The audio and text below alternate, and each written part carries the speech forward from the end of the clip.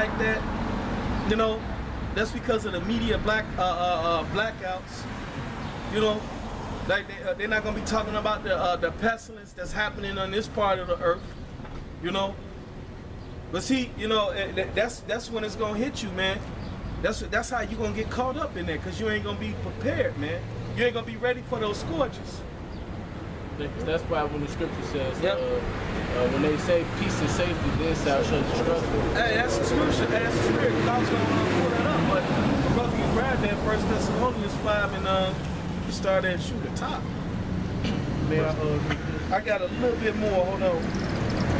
He says, uh, Slaki, for many of them, uh, for many of them that dwell upon upon earth shall perish of, of, of, of, of famine, and the other that that escape the hunger shall the sword destroy.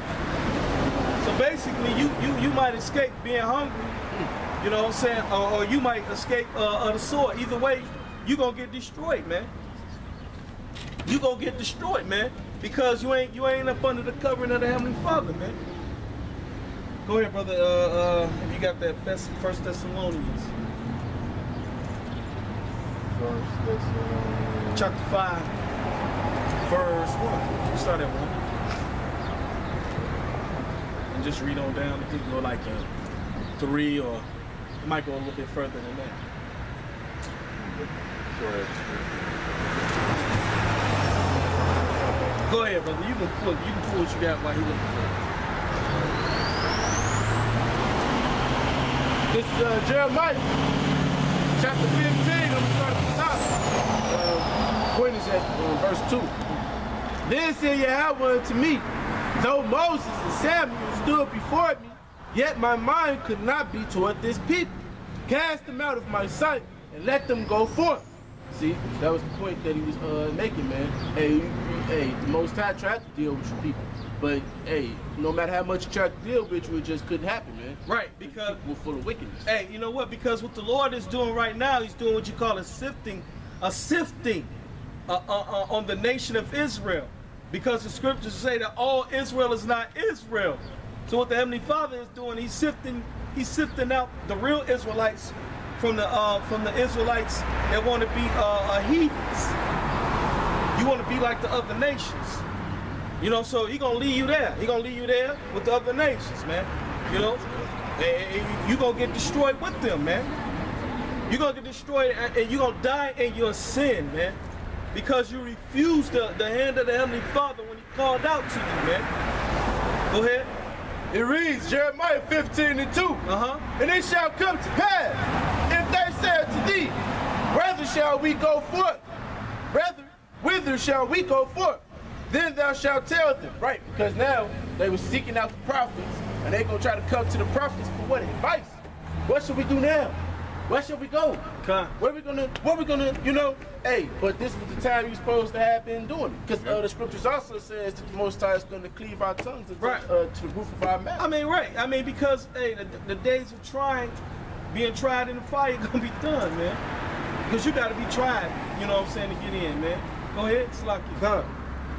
Uh, Jeremiah 15 and 2, and it shall come to pass, if they say to thee, Brother, shall we go forth? Then thou shalt tell them, Thus said Yahweh, such are such as are for death to death, and such as are for sword to the sword, and such as are for the famine to the famine, and such as are for the captivity to the captivity. Fine. And I will appoint over them four kinds, saith Yahweh, the sword to slay, the dogs to tear, and the fowls of the heaven, and the beasts of the earth to devour and destroy.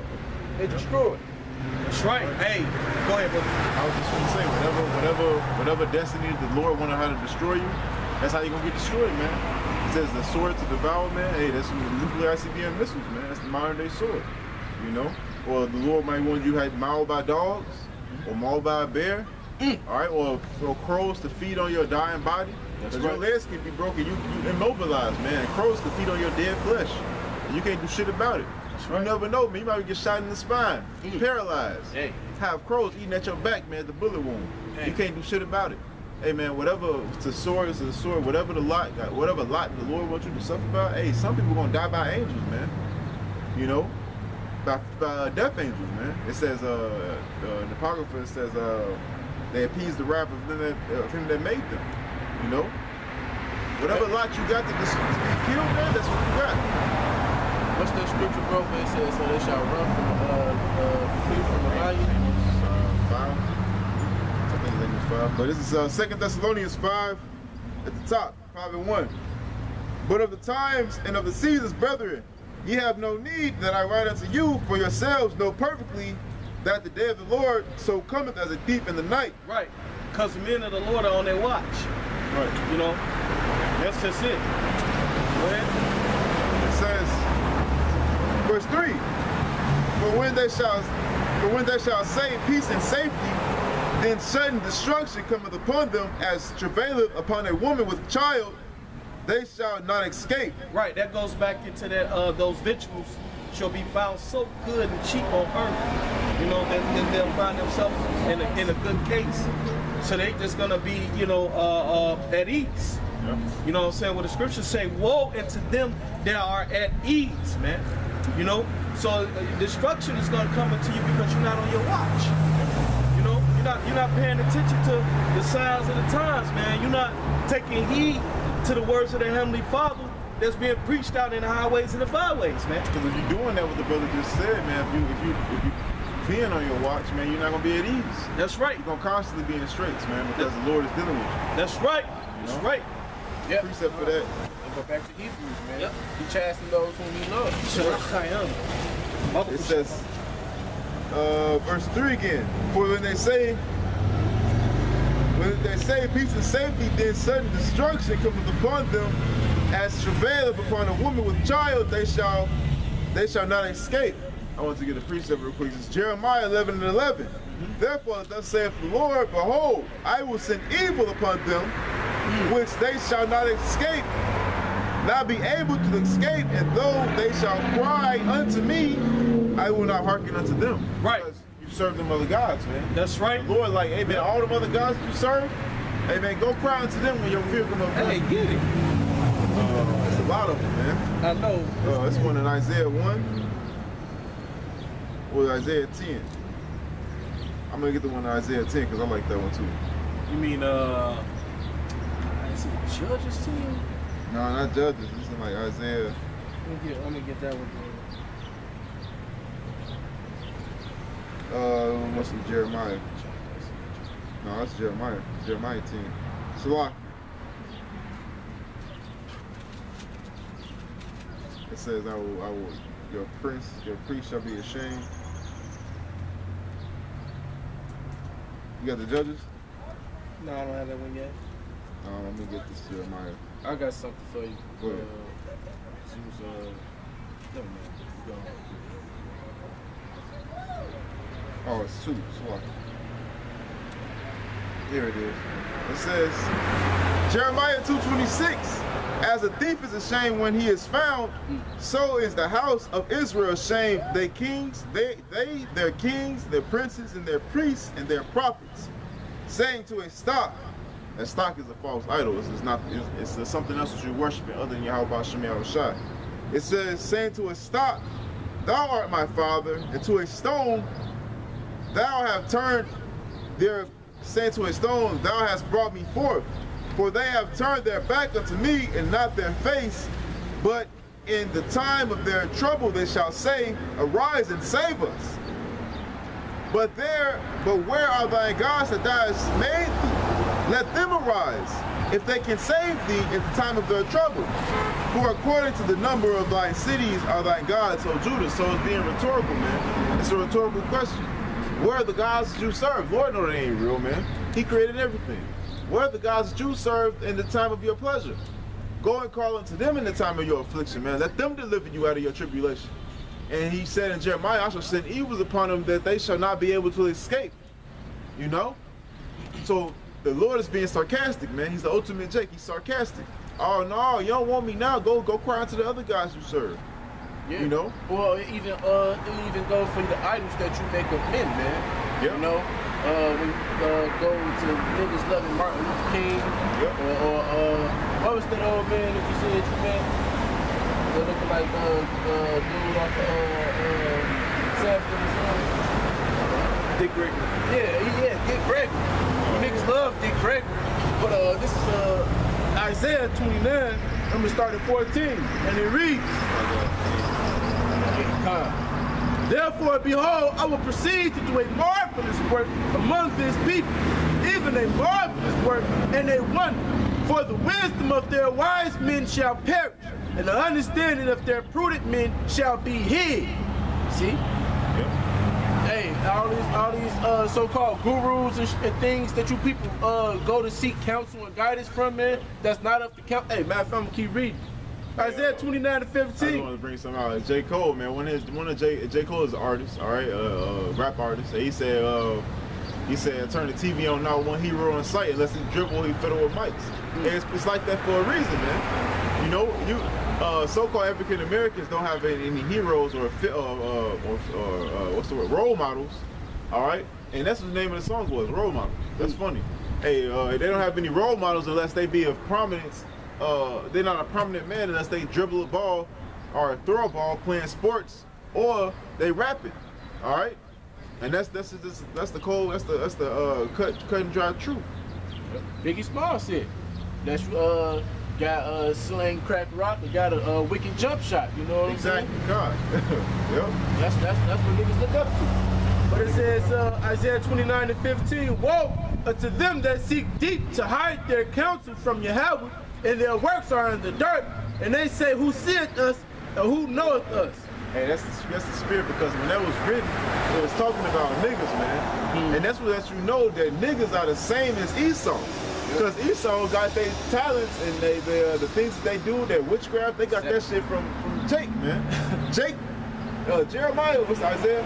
Isaiah was, yeah, Isaiah was talking about Jake, man. Hiding they, hiding they works from the Lord, man. But hey, man, they goes into Esau too because they just like their father, the devil, man. They all worship wickedness. Huh. That's what I love about that scripture because it was we we, we we applied it to Esau, Yep. but when it was written, it was talking about Jake. Manifold.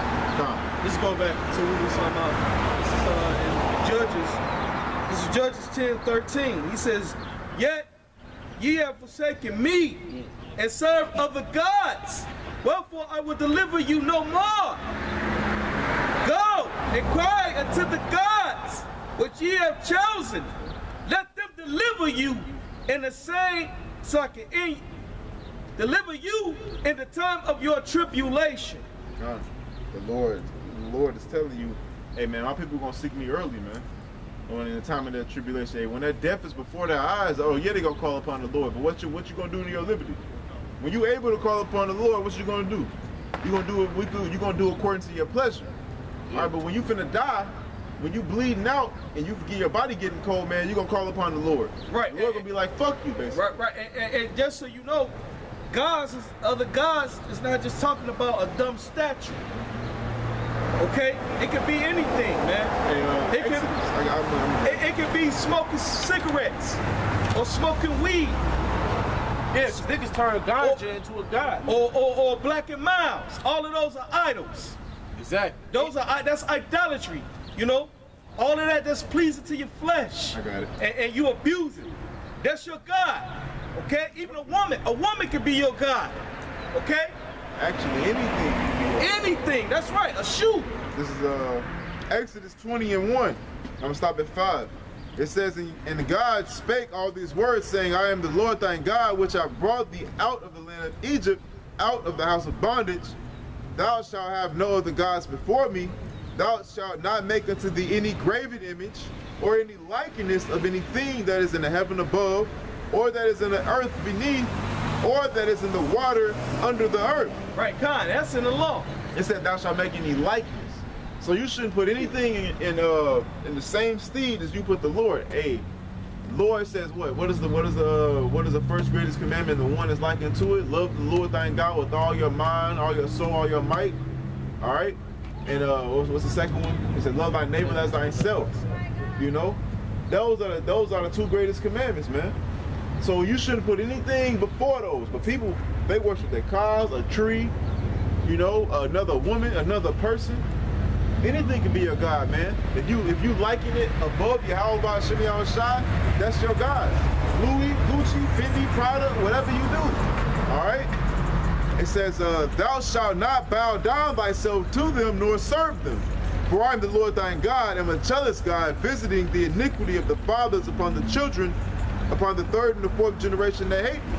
And that's just that's just talking about recompense, man when you when you go you gonna commit your wickedness in, the, in, this life, but in your next life you're gonna begin to pay for it. But they don't think about that. I'm so fucked up, Lord. Hey man, don't ask why. Who are you to reply against the man who created you? Well, I got this right here. Isaiah 29 and 16, you just walk right into it. It says, uh, Surely your turning of things upside down shall be esteemed as the potter's clay.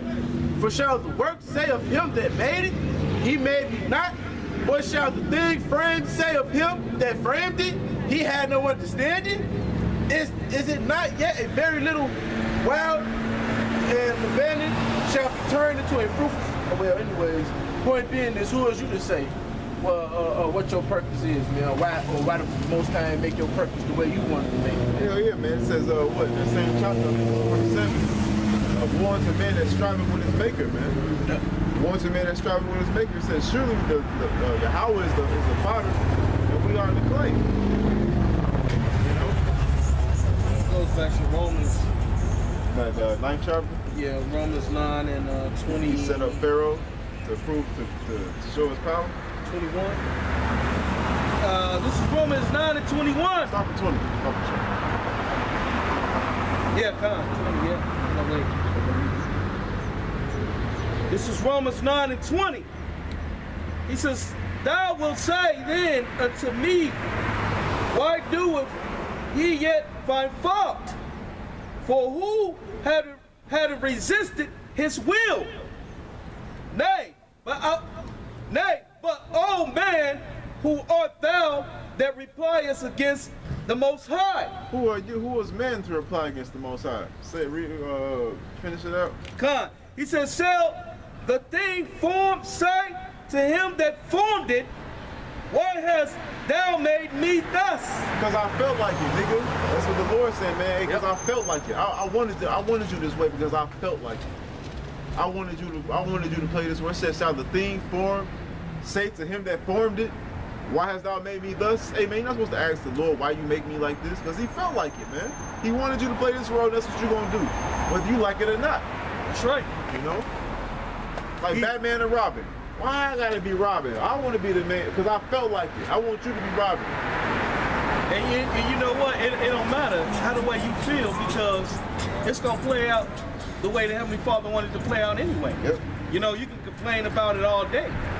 It don't matter. You even even you complaining was written in there that you was gonna complain.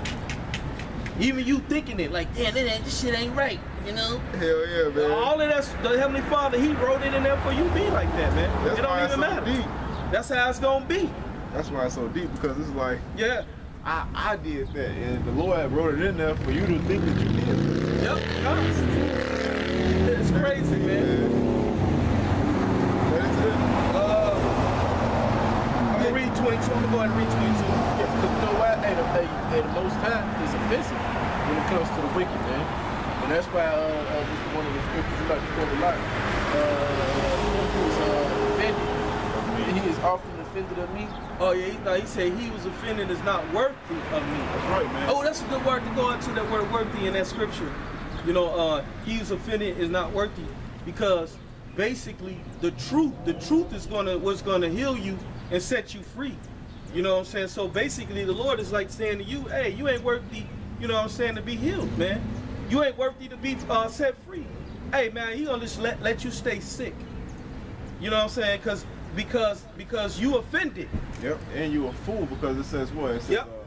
uh, as a thorn, as a, as a stone is binded in a sling, Yep. so is the words of wisdom in a fool. That's right. Meaning what? You gonna let that shit go. When you put a stone in a sling, you gonna let it go. Quick. Fast. You know? That's right. It says as a thorn goes into the hand of a drunkard, so is the parable in the mouth of a fool. That's right. And when, when the drunkard lean on the thorn, he gonna let it go real quick. That's what a that's what a fool gonna do with the parables of the Lord. He gonna like, oh, okay, and walk off and forget about it. Yeah, exactly, man. That's why you're not worthy. That's Not right. worthy to know the parables of Noah. No, exactly. This verse 23, I'm sorry, verse 22, he says,